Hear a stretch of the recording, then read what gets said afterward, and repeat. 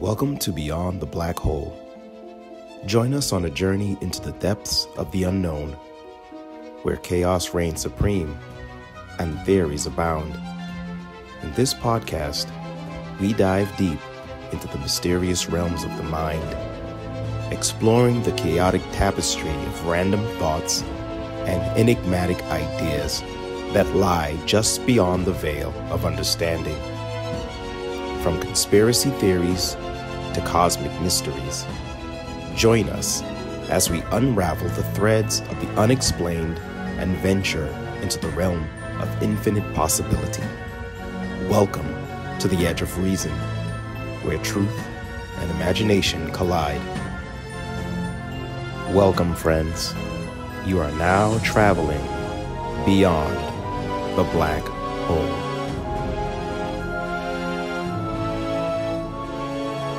Hey there, travelers. Welcome back to another episode of Beyond the Black Hole. This is episode 7, and I am your tour guide, Rock Thundersword. I hope you all had a great week, and I hope you are ready for this adventure today. Today's article is titled Man Cooks and Eats His Own Finger After Losing It in an Accident.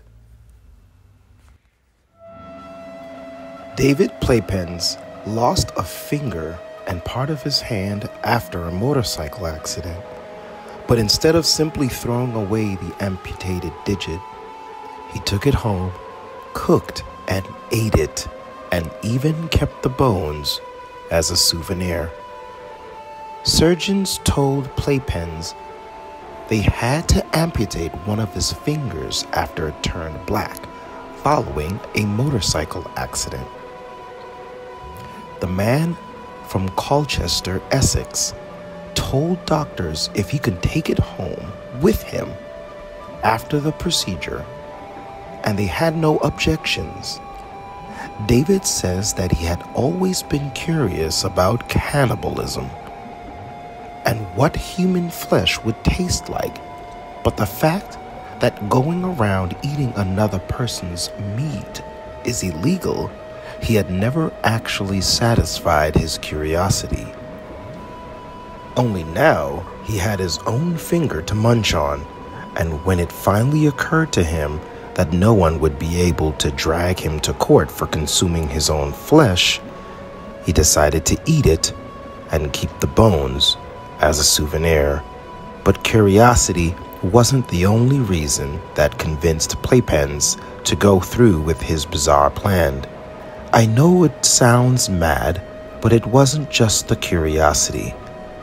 That finger was a big part of me, too big a bit to lose.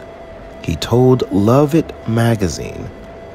I decided that if I ate the flesh and kept the bones, then I wouldn't be losing part of me.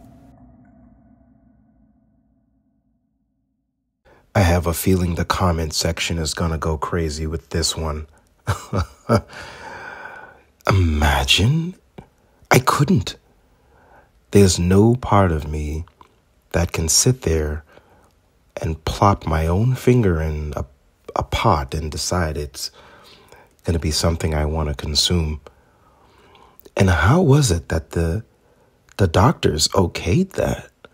Wouldn't that be some type of biohazard?